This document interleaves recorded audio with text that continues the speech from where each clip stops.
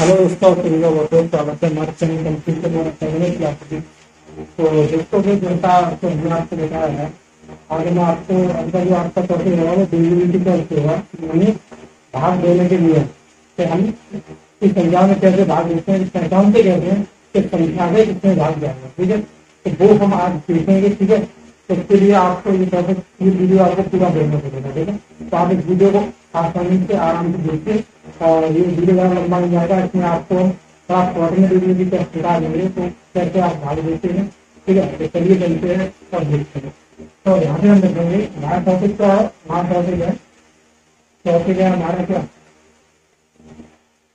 Topic हमारा है विभाजन विभाजित करने के लिए करने के नियम मतलब हम ये देखेंगे किसकी संख्या में किससे भाग जा रहा है, किससे नहीं जा रहा है। तो ये चीज़ हम चेक कर लेंगे तो हम जब एग्ज़ाम में कोई संख्या मिलेगी तो उससे हम आसानी से पहचान सकते हैं कि इसमें किस संख्या के भाग में कैलकुलेशन में ये काफ़ी आपका काम करता है, ठीक है? और इससे पहले हम कैलकुलेशन के जो मल्टीपल जैसे होता है एडिशन होता है ये वीडियो हम पहले डाल चुके हैं तो हमारे डिस्क्रिप्शन में लिंक मिल जाएगी डिस्क्रिप्शन में लिंक भी दे देंगे, और हमारे प्लेलिस्ट में आपको दो वीडियो मिल जाएँगे। आप उन्हें भी आप देख देखिए ठीक है? तो चलिए करते हैं, देखते हैं। तो पहले हम दो से देखेंगे, दो से विभाग ठीक है? विभाग होने के लिए, होने के लिए, ठीक है? अब हमें ये जाँच जाँच करना पड़ेगा कि कोई संख्या दो से भाग जा रहा है इसमें कि नहीं जा रहा। और वो हमें चेक करने के लिए हमें सिंपली कुछ नहीं करना है। हमें एक चीज़ लिखनी रहती है कि अगर की संख्या के इकाई के अनुरूप ठीक है? संख्या के इकाई के अनुरूप ठीक है? तो इकाई का अंक क्या है? संख्या का देखिए तो इकाई का क्या होती है। इकाई का अंक तो आपको क्या करना पड़ेगा? इकाई का अंक इकाई, ठीक है? इकाई अंक आपको क्या करना पड़ेगा? क्या होना चाहिए इकाई का अंक आपका ज़ीरो टू फोर सिक्स और एट अगर ये इकाई के अंक किसी भी संख्या के इकाई के अंक हैं तो वो संख्या हमेशा दो से ज़ाहिर होगी ठीक है, ये आप नोट डाउन कर लीजिए तो जैसे हम मान लो कोई संख्या हमने मिल दी यहाँ पर जैसे मान लो अगर ट्वेंटी फोर मिल दी और इसमें हम कैसे पहचाने कि इसमें दो का भाग जाएगा? तो देखिए सर लास्ट में क्या लिख रहा है? फोर लिख रहा है। ये फोर इसके अंदर आता है। ठीक है? तो ये फोर इसके अंदर आता है जब ये दो से कटेगी दो से जैसे ही आप काटोगे तो दो एकम दो। ठीक है? और फिर इससे काटो दो दूनी चार। दूनी चार से कट जाएगी। ऐसे मान लो अभी छोटी संख्या थी कोई बड़ी संख्या आ जाए जैसे एट फोर थ्री टू ठीक है? अब बच्चे में हम देखते भाग जाएगा। इसमें दो की लास्ट लगाएगा क्यों? क्योंकि इसके लास्ट के इकाई का क्या है? दो है। और ये हमने यहाँ पे लिखा ठीक है? तो वो चीज़ आप यहाँ पे देख लेंगे तो सीधा दो से कर जाएगा। तो दूसरों के आठ, दो दिन चार दूसरा दो दूसरी बारह। ये कर जाएगा पूरा पूरा। ठीक है? ऐसे मान लो कोई भी अंक हो सकता है। जैसे मान लो संख्या को दिया? पंद्रह छह सौ तीस, ठीक है? पंद्रह छह सौ तीस तो हमें यहाँ लास्ट में क्या देख रहे हैं कि यहाँ पे ज़ीरो है, और ज़ीरो हमें इसमें मिल रहा था। तो ये हमारा किससे दो से भाग जाएगा? तो दो से देखेंगे दो से देखो, इसके सारे देखो बीस से चौदह दो से सोलह दो सौ दो बीस में दो दो से कट रहा नहीं कर रहा। तो इस तरह से हम दो से, अगर मान लो कि संख्या लास्ट में एट आ जाए एट आ जाए, मान लो हम यहाँ संख्या लिख दें, सेवन फोर थ्री एट, ठीक है? तो इसमें अगर हम देखेंगे तो इसमें हमें मालूम पड़ेगा लास्ट में कितना आ गया आ गया। और एट किसमें आता है, मेरा इसमें आता है। तो दो से हम भाग देते हैं। दो से हमने इसमें भाग दिया तो दो से काटेंगे दो दिया से चौदह दो दो में ठीक है दो से। तो ऐसे सिंपली आप दो से किसी भी संख्या को डिवाइड कर सकते हैं। तो इस तरह से दो के डिवाइड होने का ये नियम है। ठीक है, चलिए आगे अगला क्वेश्चन देखते हैं। ठीक है? इसमें अगला हम देखेंगे। ठीक है? अभी ये दो का था और अब हम अगला ठीक है? चलो। अगला यहाँ पे लिख दो आप? तीन से गायब होने वाले हैं। ठीक है? तीन से। तो अब दो की जगह कितना आ गया? तीन। तीन से विभाजित होने वाले संख्या।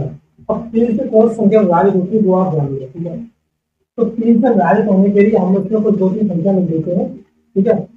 उसके बाद हम आपको बताते हैं, ठीक है? तो चलिए अभी हम लिखते हैं दो संख्या ठीक है, अब तीन से विभाजित होने वाली संख्या कुछ हम इसमें ले लेते हैं। जैसे मान लो पहली संख्या है seven five seven five, six, eight three ठीक है, ये संख्या है। ये संख्या आपको दी हुई है, ये संख्या हमें देती है, तीन से भाग जाएगा तो मिल जाएगा। तो संतरी क्या होता है? वो संख्या आपको कैसे मिल सकती है जैसे मान लो मैंने संख्या लगी एट थ्री टू ठीक है? Eight three two five eight three ऐसे हमने थ्री लिख दिया ठीक है? कितना लिख दिया हमने? एट थ्री ठीक है? और फिर लिख दिया हमने दो, तीन, और यहाँ पे अब आप दो और ले लीजिए, ठीक है? ऐसा हमने लिख दिया संख्या को हम तीन से देखेंगे। पहले तो देखो ये दो की दिया है इसके लास्ट में दो और अगर मान लो कि दो से नहीं जाती कोई और संख्या यहाँ पे लिखी होती, जैसे यहाँ पर कोई दूसरी संख्या लिख देती है दो की जगह ठीक है? यहाँ पर हमने लिख दिया तो पाँच, ठीक है? ठीक है। पाँच लिख दिया। तो अब हम यहाँ पे देख रहे हैं कि इसमें तीन से जाएगा वहाँ नहीं रहेगा तो क्या होता है कि जो ये जो भी अंक होते हैं आपस में आप जोड़ लेते हो, ठीक है? आप इन अंकों को आपस में जोड़ना है आपको ठीक है? अब जोड़ के इनका योग क्या होगा, वो आपको ढूंढना है ठीक है? तो अब इनका योग होगा आठ और तीन, ग्यारह और दो, तेरह तेरह और तीन, सोलह सोलह पाँच, इक्कीस। तो इक्कीस में तीन का जाएगा नहीं जाएगा? देखो, इक्कीस में पूरा तीन का भाग चला जाएगा सेवन टाइम ठीक है? तो यानी ये तीन से भागित हो जाएँगे ऐसे मान लो ये इन्होंने संख्या दी थी उससे जोड़ के देखते हैं, आप में जोड़ लेते हैं संख्या को। ठीक है? तो बराबर क्या आएगा? देखिए, सात पाँच बारह बारह और छह अठारह अठारह और आठ, छब्बीस छब्बीस का तीस तीस और तीस में तीन का भाग चलाया चलाया पूरा। तीस भाई चला गया तीन बाई तीस। तो पूरा चला गया ठीक है? तो इस तरह से आप तीन से पहचान सकते हो कि संख्या में तीन से भाग जाएगा या नहीं जाएगा, ठीक है? आप चलिए चलते हैं चार से लोग संख्या भाग देती है, ठीक है? तो उससे देखते हैं चार से भाग होने वाली ठीक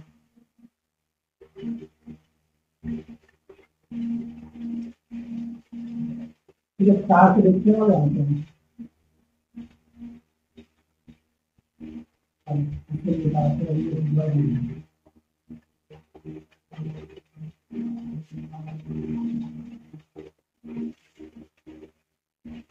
अब हम किसको देख रहे हैं अब हम देख रहे हैं? चार से कोई संख्या विभाजित होती है, कब होती है, क्या कंडीशन होती है उसकी। सभी तरीके से चार से विभाजित होने वाली।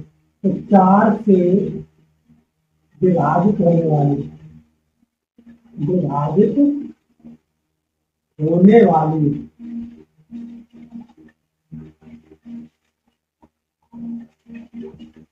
ठीक है? चार से कोई संख्या विभाजित कब होती है तो इसके लिए आप एक छोटी सी ट्रिक याद करेंगे सर ठीक है? क्या करेंगे आप? जैसे मान लो कोई संख्या लिखी है, हमने लिख दिया फाइव थ्री टू एट ये हमने संख्या लिखी दी अब ये पूछा कि संख्या चार से भागित में जाएगी या नहीं जाएगी? तो आपको क्या करना होगा इसके लिए? तो आपको इस संख्या को भागित में देखने के लिए आप इसके लास्ट में दो अंक देखिए। चार से वो संख्या भागी जाती है तो उसके लास्ट दो अंक हम देखते हैं कि इसमें भागे जा रहा कि नहीं जा रहा लास्ट दो अंक हम तो चार से इसमें भाग देखा तो चार सबसे अच्छा है। पूरा पूरा कट गया। यानी ये संख्या अभी चार से भागित हो जाएगी पूरी। चलो देखो कैसे हो जाएगी। पूरा काट भी दिखाते है। चार। चार से भाग हो गए तो चार एकन चार, ठीक है? बचा एक, चार बारह, बचा एक, चार बारह, चार तो इस तरह से संख्या चार से विभाजित हो गई। इसी प्रकार आप कोई संख्या ले लेंगे, ठीक है? उसके लास्ट के आपको दो इकाई का देखने हैं, दो इकाई और ढाई अंक देना ठीक है? इकाई और ढाई अंक से जो संख्या बनती है, वो पढ़ती है, उसको और वो पढ़ जाती है तो उसे आगे पूरी क्लियर है, ठीक है? जैसे मान लो मेरी संख्या होगी छः चार, नौ ऐसे ही तो इसके लास्ट के देखो छत्तीस है और छत्तीस चार के बारे में आता है तो चार के बारे में आता है तो आराम से भी करना ठीक है चार के अंक से भाग देंगे चार में यानी पूरी संख्या ये चार से हमारी करेगा चार से हो गया अब हम पाँच से करते हैं ठीक है तब हम मतलब लेंगे दो एग्ज़ाम्पल लेके आपको जल्दी करा देंगे ठीक है तो अब हम देखेंगे पाँच से। ठीक है, चार गया यहाँ पे अब से गायब होने वाली संख्या देखते हैं, ठीक है? पाँच से, ठीक है? अब पाँच से कोई संख्या कब विभाजित होती है, ठीक है? तो उसके लिए आपको छोटी सी बात याद रखनी है, ठीक इसलिए रखनी जैसे मान लो कोई संख्या हमने यहाँ पे नहीं दी मान लीजिए हमें दिया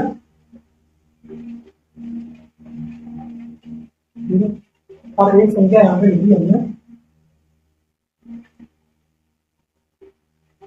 ठीक है? ये दो संख्या हमने लिखी है इसका एक पॉइंट आपको याद रखना है जिस संख्या के इकाई के अंक इकाई के अंक पे क्या आ जाए? ज़ीरो और इकाई के अंक पे आपको अगर ज़ीरो और पाँच दिखाई दे जाए किस संख्या में तो वो संख्या हमेशा पाँच से प्रभावित होगी ठीक है, जैसे यहाँ पे ज़ीरो दिख रहा है आपको और यहाँ पे पाँच दिख रहा है।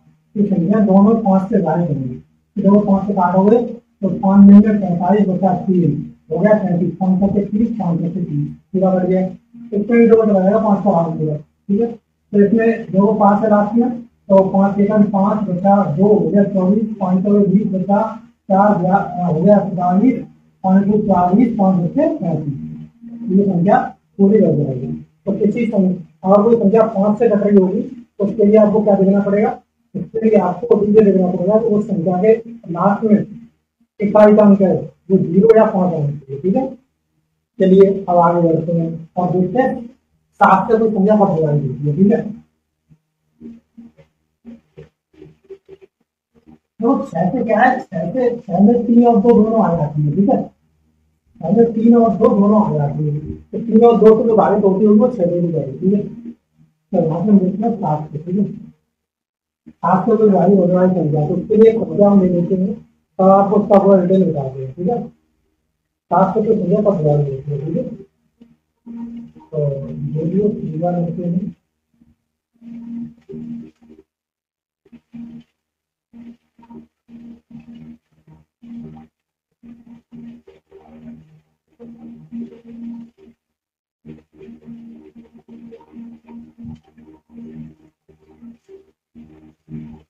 देखो, इसमें तो मैं मालूम रहा हूँ ठीक है? देखो, सात सौ की संख्या जायज़ होती है। सात से जायज़ होने के लिए क्या होता है? जैसे मान लो एक संख्या मिल रही चार चार, तीन, दो। ठीक है? लंबी प्रोसेस है। जैसे तो आप सात से भाग देंगे तो अच्छा है जैसे लंबी प्रोसेस है। क्या होता है कि इसका आपको दोगुना कर देना होता है संख्या का टू और टू टाइम करके इस संख्या में घटा देना होता है। ठीक है? उसके बाद भाग दे के देखना पड़ता है कि उसमें भाग जाएगा नहीं जाएगा। अगर नहीं गया, ठीक है? तो फिर से एक प्रोसेस करनी पड़ती है। ये काफ़ी लॉन्ग चली जाती है, इसलिए आप इसको ना करो वो ठीक है? इसके बाद आपको हम दिखाएँगे कितना? नौ ठीक है? फिर नौ का देखा सात का थोड़ा लंबा बढ़ जाता है तो ज़्यादा नहीं और हमने कहते वैसे हुआ इकाई का उनका दोगुना करो फिर जो संख्या रह जाती है इसलिए तो उसे और बताने के बाद अगर संख्या में का बढ़ जाए तो अच्छी बात है। और मान लो, अगर फ्रिज में नहीं गया जैसे मान लो यहाँ पे हमने एक संख्या तो मान लो यहाँ दिया हमने। नौ, आठ, ठीक है? आठ से आगे नौ, आठ, ठीक है? और यहाँ पे हमने लिख दिया। मान लो, यहाँ पे दिया हमने। वन, ठीक है? और मान लो हमने फाइव लिख दिया ठीक है? ये संख्या हमने लिख दी। अब क्या करना था? इसका हमें जोड़ना करने का पाँच का कितना होता है? दस है पाँच का दोगुना कितना हो गया? दस हो गया। ठीक है? दस हो गया। अब ये जो दस है, वो जो संख्या इसमें बच गई हो ये कितना होता है? जैसे ये कितना होता है? इसमें से ये दस घटाना होता है। ठीक है? अब जैसे ये दस घटाने कितना होता आपका? यहाँ पे कितना केवल समीकरण अब इस संख्या में सात से भाग दे दीजिए। तो इस तरह से जब भाग देते हैं, अगर चला जाता है तो अच्छी बात है। और नहीं गया, ठीक है? नहीं गया तो आपको क्या करना पड़ता है? ही प्रोसेस बढ़ाना इसलिए इसको अब मत करो, ठीक? तो आपको क्या करना है? अब आपको नौ का समझना है तो नौ से भाग ठीक है? नौ से आइए ठीक है? तो नौ से देखते हैं। नौ से कोई संख्या का जाती है? देखो कोई भी संख्या लिखी होगी जैसे मान लो सेवन, सिक्स, थ्री ठीक है ये ये हुई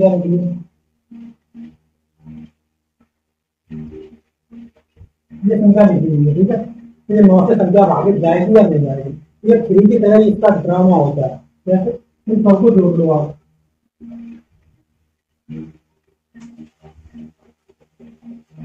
ठीक है इन्हें जोड़ो सात से तेरह और तीन सोलह सोलह सौ अठारह अठारह, पाँच तेईस तेईस चौबीस। चौबीस तो हो गया चौबीस में नौ का भाग जा रहा है? नहीं जा रहा है। तो गलत हो जाएगी ठीक है? तो हमें यहाँ पे कुछ बढ़ा देना है। चौबीस हुआ है तो यहाँ पर हमें चार रख देना ठीक है? ठीक है तो इतना हो सत्ताईस सत्ताईस हो गया तो अब इसमें चला जाएगा। ठीक है? तो इस तरह से ऐसे की संख्या लिखी होगी, इसके अंकों का जोड़ना। अंकों को जोड़ने के बाद अगर उसमें जाता है भाग चला जाएगा, ठीक है? इसके बाद एक मोस्ट इम्पोर्टेंट है, वो है ग्यारह तो ग्यारह का आप देख रहे ठीक है?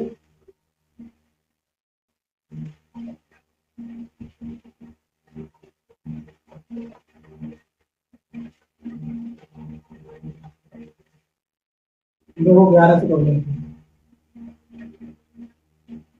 ग्यारह से कोई संख्या कब जाती है वो देखिए अगर हमने यहाँ पर कोई संख्या लिख दी ठीक है?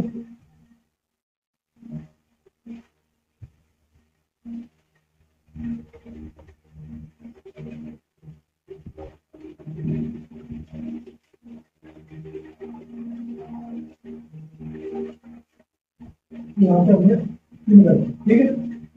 सब होगा इसमें क्या करता है? एक स्थान छोड़ने के बाद दूसरे स्थान में कम लाभ करा ठीक है? आगे आगे। कुछ नहीं होता, ठीक है? अगर इसका तो लाभ होगा ही किसी से भी, ठीक है? तो ये कितना हो गया? ये दो कितना हो गया? अभी इसको मिलाते हैं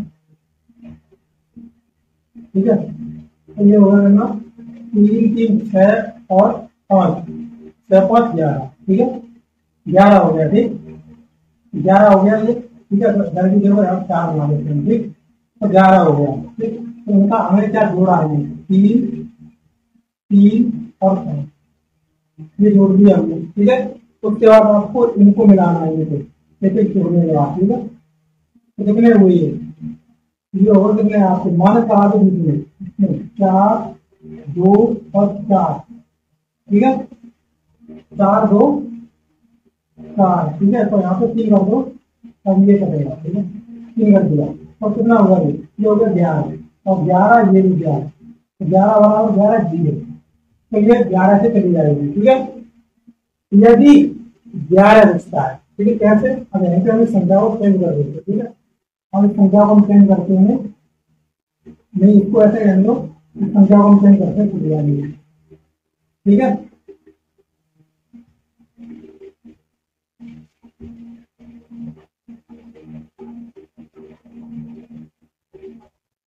ये हो गया, ठीक है? अब ये पाँच दो पाँच चला। इसे करते हैं। वो इसे हमने कर दिया नाइन ठीक है? इसे कर दूँ मैं एट और इसे कर दूँ मैं, ठीक है, ये हो गया। ठीक, इस तरह से आप इसे निकालें। अब जब इसे कैसे करेंगे।